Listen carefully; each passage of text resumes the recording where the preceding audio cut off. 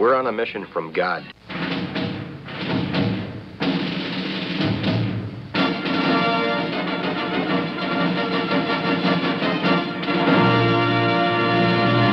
And now for something completely different.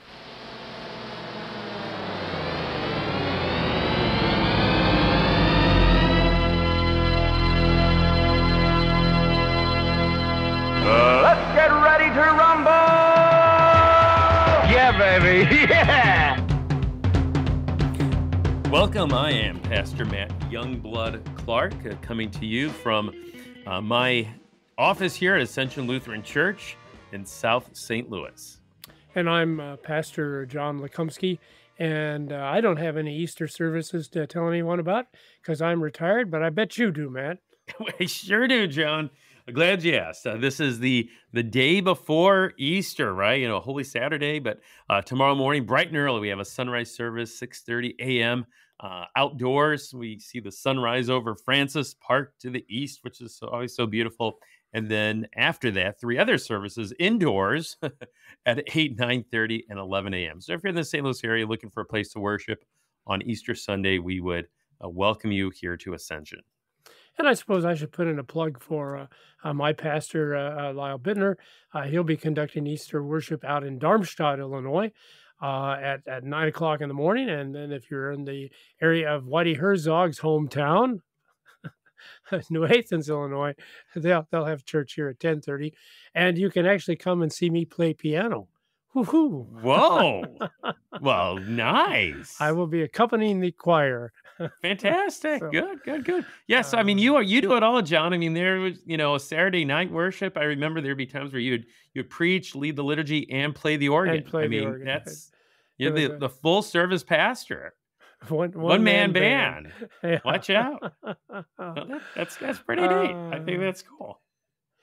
and and you will notice that no one's asked me to play organ since then. so that tells you something about my playing. Um, so we, we we've got something I think uh, that, that we're enjoying. I hope our listeners enjoy it. We're having a, a Holy Week special.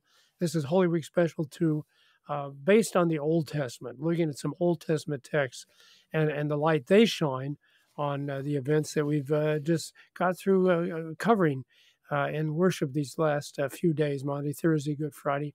I would like to pick up one thing though I forgot to mention last Yeah. week. We were we were talking about the the children of Israel in the the the wilderness uh, and and being thirsty, being thirsty, and they they complained and they grumbled and they they uh, actually started a quarrel and they even wondered, God, are you among us or not? And, and I said, you know, they had a reason. They had a reason because here they were, they were thirsty, and God led them to a place called Horeb, which by definition uh, is a place of dryness. That's what it means. So why would you do that, God? Why take thirsty people to a place of dryness? And, and I guess it's a question we would ask of ourselves. Why does God sometimes put us in a place where it just doesn't seem like there is any answer to our problem? You know, um, we all have these issues that we wrestle with, and and and most of the time, oh, okay, I can go to a doctor or I can get some help here. But there are times in our lives when when the problem is such that I don't see, I don't see how God can any do anything about this. Uh, that that's the horrors of our life. And and the, the real quick, wh- why would God do that? And I, Matt, I don't. Do you have any insights about that? Because that's why does God put us in those positions? Well, boy, I I think uh, I think the what we're about to look at, Numbers twenty one, helps with that a little bit, right? Oh, Um, cool, w- good. Why good. does God put us in those positions? You know, so we don't have a Horeb here, and so we've got a snake infested corner of the wilderness, right? Why does God allow that? Even it's it says that God is the one who did it, right? Sent the snakes. Oh, Um, and I would think, you know, in, in part, boy, to, so that we have a reliance upon Him, right? Not ourselves, and not a questioning of Him, but but a trust, a faith, or a looking to Him, confident of his, promises, right? That He's going to provide like He said He would.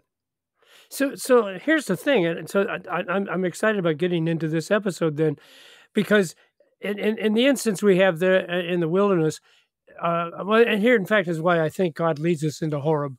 Uh, I, I'm sure it depends on the situation, it depends on on us. Uh, uh, and, and and we're going to see another example here, like you said, when he. But here, God's actually God's causing the problem. At least at Horeb, it's just they're in a place where there's dryness. Here now, and in Yeah. your story, God actually sends serpents. Yeah, yeah, But but but but I think sometimes God allows us to go into Horeb just to remind us that the whole whole thing is Horeb. okay. Uh, Uh, see, we, we forget that, that we have so many blessings in this world. We forget this whole world is Horeb. It's a place of dryness. And, and anything good that we have in this world is because God is gracious and He's blessed us. None of this stuff comes by nature. None of this stuff comes because we deserve it.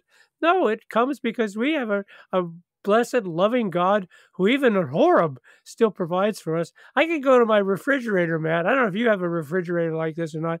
I could go to my refrigerator and, and I have a tap on my refrigerator and I can get absolutely pure water because there's a filter there in the refrigerator. It's cold water, so it will quench my thirst on the upcoming hot days we'll be having this summer. And I just take that for granted. And I forget that probably over most of the world, people people just can't go to the refrigerator and get water. Yeah.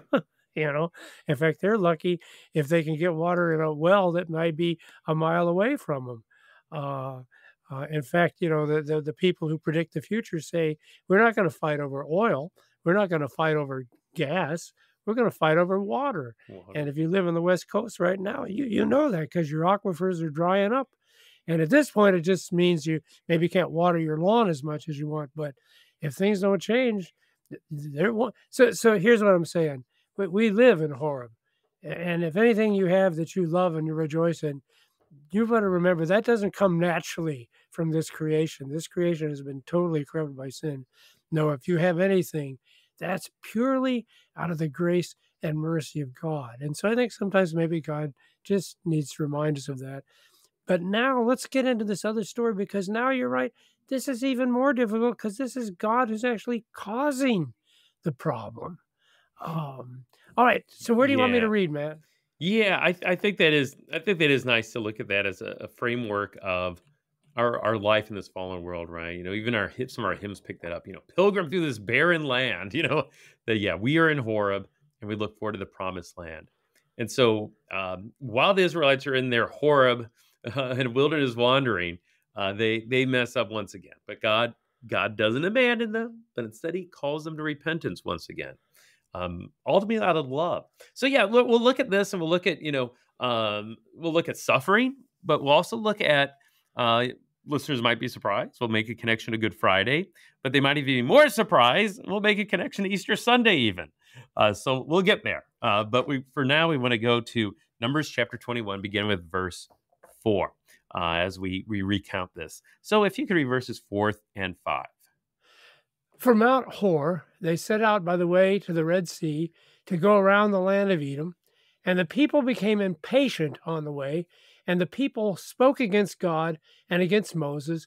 Why have you brought us up out of Egypt to die in the wilderness? For there is no food and no water, and we loathe this worthless food. okay, Oh. so so last week, you know, your account, John, um, water from the rock. That that particular account takes place pretty early on, right? They haven't even gotten to Mount Sinai Yeah. yet. They, you know, they're just in the outskirts of Egypt. Uh, this one takes place later, but boy, the complaining really hasn't changed much, has it? It's it's the same grumbling and moaning and groaning as it was early on.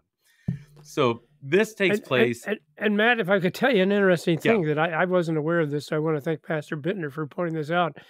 So, if we would read the story immediately before the one we're sharing now, the bronze serpent, uh, they're, they're in the exact same spot they were 40 years ago, the same spot in Horeb. And they do the same thing. They grumble and complain again about the water. And Moses gets so ticked off at them that he actually curses them and he strikes the rock with a staff two times because he's just so angry. And of course, God had told him, You don't even need to strike it, just talk to it, and the rock will give you water. And, and it, it's the thing that gets Moses so he doesn't get to enter into the promised land. So it's just fascinating. After 40 years, as you're pointing out, nothing's changed. It's a new generation, too, right? The old generation has died. We got a new generation, and they're still doing the same thing that their parents are doing. Yeah, I think it's important to understand too. I think sometimes we forget it- it's not as though it took them 40 years and then they finally get to the promised land. No, they, they got there pretty fast and pretty quick order. And they send in the 12 spies, remember? And they they don't believe this the the the, the two faithful spies, but instead the the ten uh, who bring this bad report. The people don't trust in the Lord, uh, and yeah, for 40 years, a total then of 40 years, they're in the wilderness. So that this is where this is taking place, is during that wilderness wandering. And and it's interesting too. They're they're setting out from Mount Hor by way of the Red Sea around the land of Edom. So they're going in the opposite direction of promised land at this time. And so the people are getting, like it says, verse four, impatient on the way, right? And then this complaint, right? Um, why have you brought us up to die in the wilderness? There is no food and no water. We loathe this worthless food. Now, you know, are they really dehydrated and starving? Um, I think it's pretty safe to say no. no. uh, we know no. that God is providing for them each and every day. This manna, right? Their daily bread and a double portion right before the Sabbath so that they can rest on the Sabbath. Um, so God is providing literally their daily bread. And yet, what do they call it? Loathsome. Yeah. We hate Yeah. this loathsome, worthless food. You know, worrying more about their bellies than they are about about honoring God. In in Um, defense, in defense of them, however, Matt, I think if I had been eating nothing but manna for 40 years, I might be pretty well disgusted with it too. Well, yeah, I mean, it, it's uh, well, seriously, we probably start grumbling if we just have to eat leftovers for one night, right? I mean, we're we're we're no better than the Israelites. Um, we we grumble at so much less, perhaps. Yeah, I know I certainly do. Just discontent. Uh, so yeah, before we're quote, too quick to, to to judge Israelites, first let's examine ourselves. All right. So what is what does God do? Um, if you could read verse six. Uh, then the Lord sent fiery serpents among the people, and they bit the people, so that many people of Israel died. Yeah.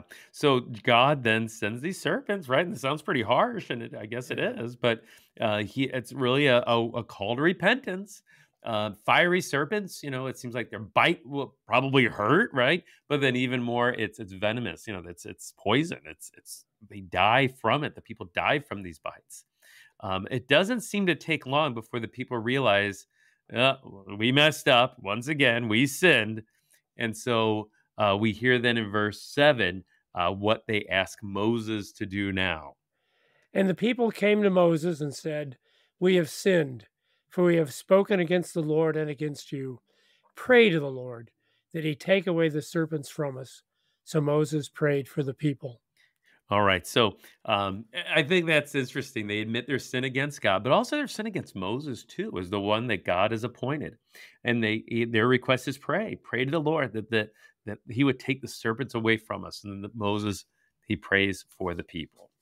All right. Let's uh, let's go ahead and read verses eight and nine, wrap it up, and then we'll talk a little more about it, John, if you can Okay. read, Well, just just one one thing, and, and again, I, I need to give credit to my pastor, Pastor Bittner, who pointed this out to me. Although he would give uh, credit to uh, uh, Dr. Reed Lessing, that was the original source.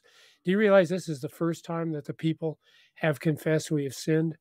I did not. Well, it's that. about time, Israelites. It is, yeah. Forty years grumbling, complaining, uh, uh, you know, quarreling, wondering if God is amongst us, testing the Lord, and and this is the first time that they finally acknowledge, well, maybe we're the problem. We have sinned. So I thought, It- wow, Yeah, and it really sets something? it really sets a pattern, doesn't it? It sets a pattern we see now through the whole book of Judges as they enter into the Promised Land and even beyond.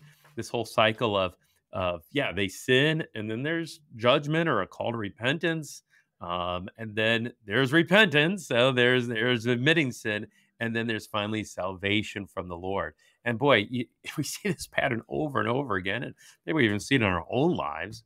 Uh, but the most important part of that is, is what comes at the end is of following that repentance on the part of the people, the, the salvation that God gives, and that's uh, that, so. Yeah, f- after their very first time of actually saying they're sorry, uh, we see what God does in verses eight and nine. and and and I think I'm glad you brought that idea of salvation, because what's happened up to this point is God just kind of tolerates their grumbling, and He does provide for their physical needs. But you're right that this is different too. This is something more than God just saying, "Oh well, okay, I'll still give you something to eat. I'll still give you something to drink." Uh, I liked the word salvation there. And, and the Lord said to Moses, "Make a fiery serpent and set it on a pole, and everyone who is bitten." when he sees it shall live. So Moses made a bronze serpent and set it on a pole. And if a serpent bit anyone, he would look at the bronze serpent and live. Yeah. Uh, eh, yes. okay, good. We'll we'll talk more about that in a second, but let's stop there. Okay, John, here I've got a I've, I've, I've got three questions for you. Okay. Okay. All right. So first question is, um, the people they, they they they they say they're sorry, right? They come to Moses and they they make a request of Moses, and what they they want Moses to pray for them, right? Yeah. So what do they want Moses to pray for? I think I see where you're going here. They pray that he take the serpents away. Yeah. Okay. Very good. Yeah. Exactly. So question number two: um, do, Does God take the serpents away? No. I know. So I was, I was discussing this with. You're right. I was discussing this with my wife, and I said, uh, you know, so does God take the serpents away? And she said, well, no. And then Lisa goes, he even added a serpent. Oh, And I, oh, I like oh. that. you know, yeah, I like only- that too. he throws in another serpent. so then, third question, maybe this is the toughest question: is um, did God answer their prayer? And the answer is yes. Yeah, I would say yes as well, right? I mean, that, that's the thing. God always answers prayer, right? That's His promise. Um, now, He may not always answer our prayers, you know, the way we want it, how we want it, when we want. Uh, you know, um, that He doesn't promise that. Um, God is not some celestial vending machine up in the sky, and we insert our dollar with our prayer. And if I want a Coke, I well, God better darn well give me a Coca Cola. And if He dispenses a Sprite, well, then there must be something wrong with God. That's not how it works. I want we- my money back at least, I know. Matt. I want my money back. You know, and I, I think we laugh about that, but boy, I think we we treat God like that a lot. Um, and I think you know, instead uh, we think God answers prayer, and sometimes the, sometimes the answer is yes, right? Yes. yeah. Sometimes He will take away the snakes, uh, but sometimes His answer is, um, "I have even something better in store for you." And I think that's exactly what happens here. He doesn't take away the snakes, but he has something even better in store for the people. He provides this mean of salvation, this means of being saved from the the death-inducing snake bites. Again, this bronze serpent on a pole, which seems super strange, John, right? You know, this very this very snake that's causing uh, death and destruction and, and is a sign of God's judgment now becomes a sign of salvation. A snake on a pole, and when the people are bit and they look to it, um, they live. And not because the snake's magical, no, just a man made snake, uh, but because of God's promise attached to it. That yes, when you look at this, God promise His promises that you have life. And so when you have faith in that, that word of God, right, that promise of God, uh, they do indeed live. Their life is spared. Um, yeah, so that's uh, it's strange when you think about it, uh, but even un- illogical. But yeah, they trust God's word and promise, and, and in that they find salvation. In that they find uh, saving from the deadly bites. So, so it struck me right right away when I heard that we have sinned, uh, and again take the the servants away from us, that that they still haven't really fully, completely understood what repentance is, uh, because for them it's just about the serpents, and, and aren't we that way, right?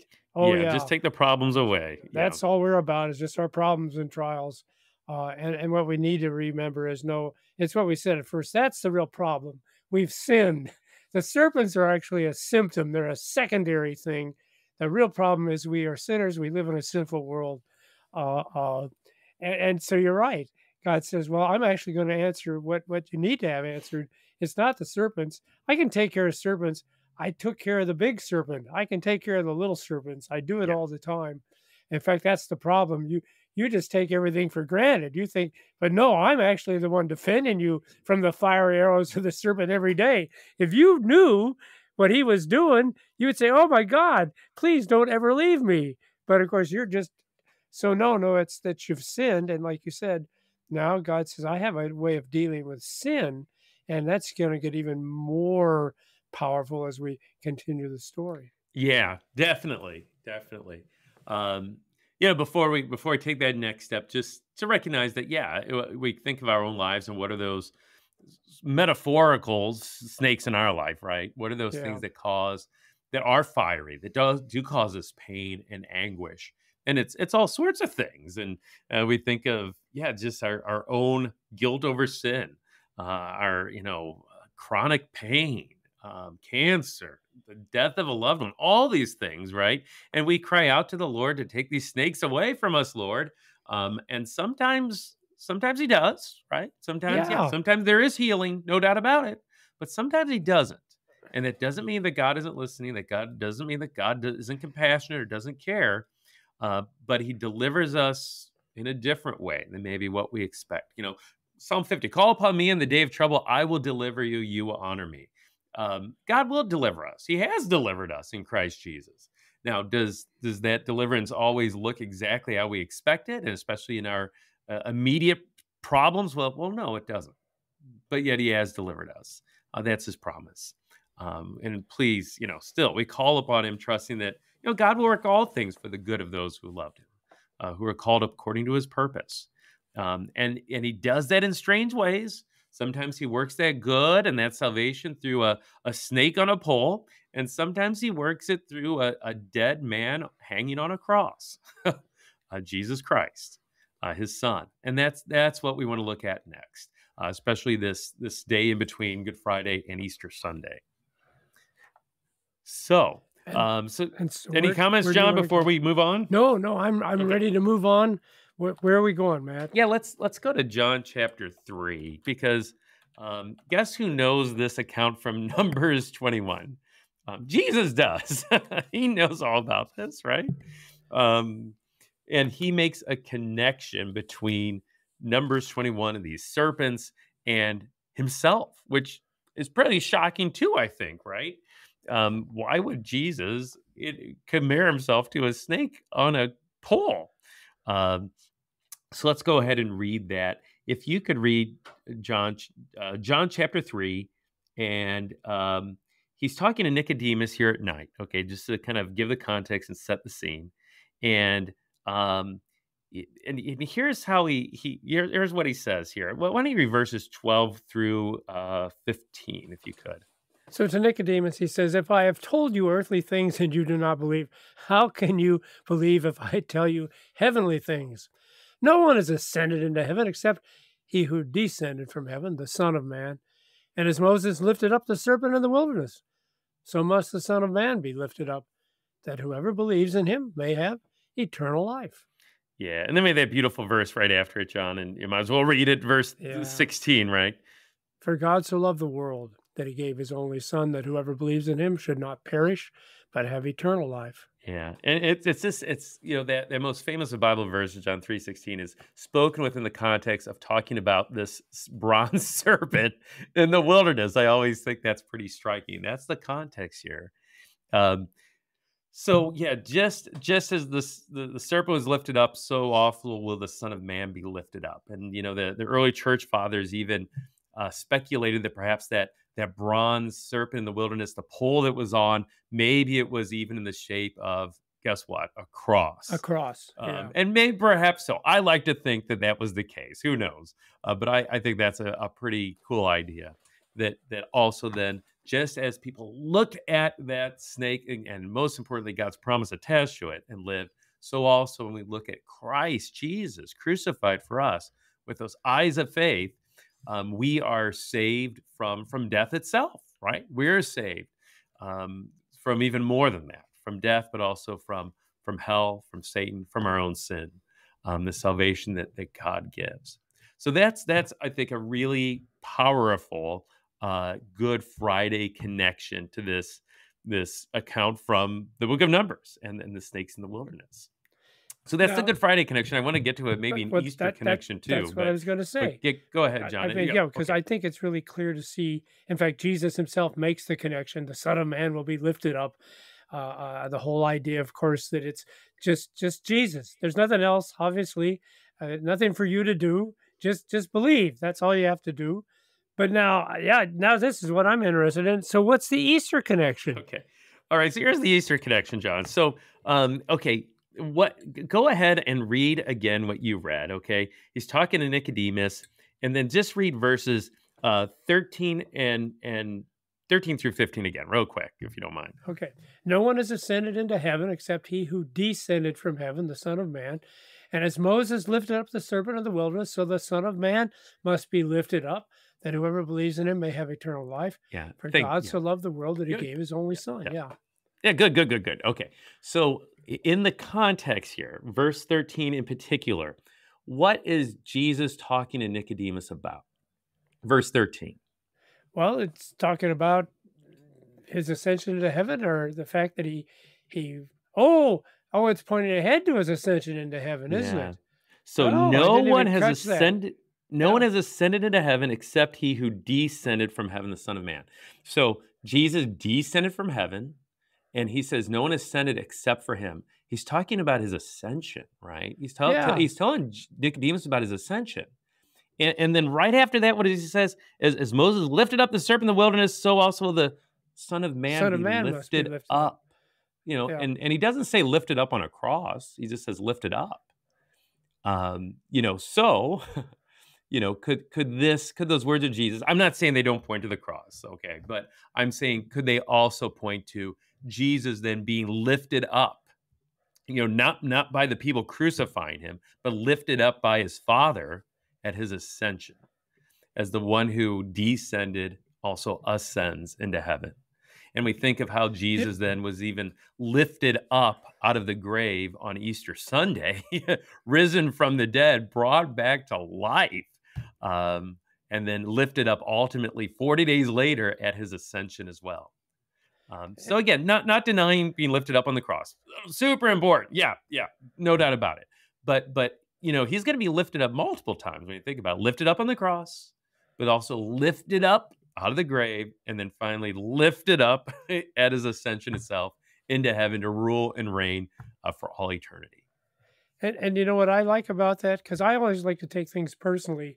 Then he immediately says, Guess what? You too, you too are going to have eternal life. Yes, Which means ultimately then we will have to be lifted up out of the grave and we will also be lifted up into heaven. Exactly. So, So- he, he's the first fruits. Jesus blazes the trail for us. And yeah, like he Jesus dies, and guess what? We're we're also gonna we're also gonna die someday. and and uh, you know that that's that's what's gonna happen. You know, his his death different for the, the salvation of the world, but yeah, we're gonna die. But we too, like you said, John, we will be raised one day bodily from the dead. We too one day will be taken up into heaven uh, to be with the Lord uh, forever and ever. Yeah, so some neat connections, I think. As we find this on us on the Saturday between Good Friday and Easter, I think a connection here that maybe ties both those events together pretty well. Blessings to you. This has been Wrestling with the Basics.